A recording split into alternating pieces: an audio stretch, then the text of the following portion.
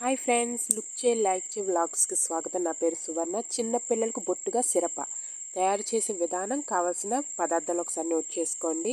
తయారు చేసే విధానంలోకి వెళ్తే ఈ చిన్నటి స్టీల్ గిన్నె అయితే మనం తీసుకుందామండి. దీని క్వాంటిటీలో పెద్ద సగ్గుబియ్యం అయితే తీసుకోవాలి. ఒకవేళ ఇది లేదనుకుంటే tablespoon three tablespoon సగ్గుబియ్యం అయితే తీసుకోవాలండి. ఈ చిన్న గిన్నెలో తీసుకునే ఈ సగ్గుబియ్యాన్ని మనం మందపాటి కడాయిలో అంటే మూకుల్లో మనం వేసుకుని వేపుకోవాలండి. ఇదిగో కడాయిలో వేస్తున్నాం. వేసిన తర్వాత దీని గ్యాస్ ఆన్ చేసి మూకుడిని పెట్టుకొని వేపుతూ ఉండాలండి. సిరపాయే సిరప ఎందుకు అంటే ఎందుకు అంటే పిల్లలకి దిష్టి తగలదు అది నుదుటి మీద మచ్చ కింద పడదు హోమ్ రెమెడీ ఎలాంటి సైడ్ ఎఫెక్ట్స్ అయితే ఖచ్చితంగా ఉండవండి. మరిన్ని లాభాలు ఉన్నప్పుడు సిరప తయారు చేసుకోవడం కొంచెం కష్టమైన ఓపిక చేసి తయారు చేయడం మంచిది. నా ఛానల్ కనుక ఫస్ట్ టైం చూస్తున్నట్టయితే లైక్ చేయండి షేర్ చేయండి సబ్స్క్రైబ్ అయితే చేయండి. మీ బెల్ ఐకాన్ని క్లిక్ చేసినట్లయితే నేను పెట్టే ప్రతి నోటిఫికేషన్ మీకు ముందుగానే వస్తుంది. చూడండి ఇక్కడ పెద్ద సొగ్గు బియ్యాన్ని బ్రౌన్ కలర్లో అయితే వచ్చింది. ఇది ఇంకా డార్క్ బ్లాక్ కలర్లో అయితే రావాలి. దీన్ని మనం స్మాష్ చేస్తూ ఉండాలండి. దానివల్ల సగ్గుబియ్యం కూడా మంచిగా జిగురు వస్తుంది కలర్ వస్తుంది చూస్తూ ఉండండి. చూడండి ఇందక్కడ మీద అయితే ఇంకా కొంచెం డార్క్ కలర్ అయితే ఇక్కడ వచ్చింది. చూస్తున్నారు కదా? అయితే ఈ ఇంకా బ్లాక్ కలర్లో బాగా బ్లాక్ కలర్లో అయితే సిరప రావాలండి సగ్గుబియ్యం అప్పుడే మనకి మంచిగా సిరప తయారవుతుంది. మంచి షైనీస్ వస్తుందండి. ఇదిగో ఇప్పుడు అయితే సగ్గుబియ్యం బ్లాక్ కలర్లో అయితే ఖచ్చితంగా అయ్యింది. దీన్ని మనమైతే గ్యాస్ ఆఫ్ చేసుకుని కడాయిని కిందకైతే దించుకోవచ్చండి. తిలకం పెట్టుకోవచ్చు. చాలామంది యూస్ చేస్తారు. తిలకం అయితే చిన్నపిల్లలు గొమ్ముని చెరిపేసుకోవడానికి అవకాశం ఉంటుంది. గొమ్ముని మచ్చ కింద పడుతుందండి. సిరప అయితే అలా పడదు. జిగురు పదార్థంగా పట్టేసి ఉంటుంది చర్మానికి. చూస్తున్నారు కదా ఇలాగ బ్లాక్ కలర్లో తయారయ్యింది.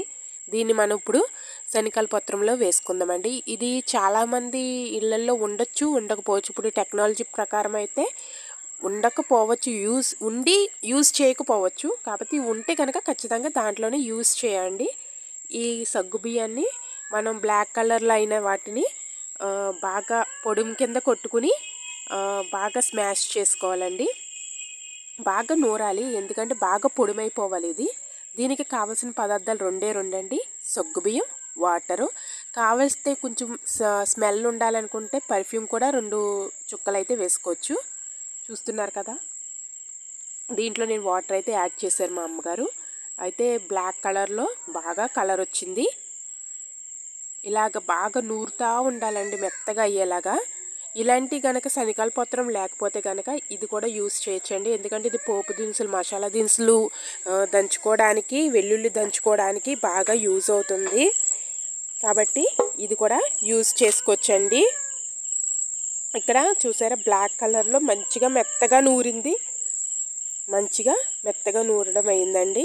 అయితే నేను చూడండి మెత్తగా అయితే అయ్యింది. నేను ప్లాస్టిక్ బాక్స్ అయితే తీసుకున్నాను చిన్న బరిని. మీకు గాజుది ఉంటే గాజుది తీసుకొచ్చండి అయితే నా దగ్గర ఇదే ఉంది కాబట్టి నేను ఇది యూస్ చేస్తున్నాను. ఇప్పుడైతే మనకి సిరప అయితే మంచిగా రెడీ అయ్యిందండి. బాగా కలర్ వచ్చింది చిక్కగా వచ్చింది. ఇప్పుడు మనం దీన్ని ఆ కంటైనర్ ఆ బాక్స్లోకి అయితే తీసుకుందాం.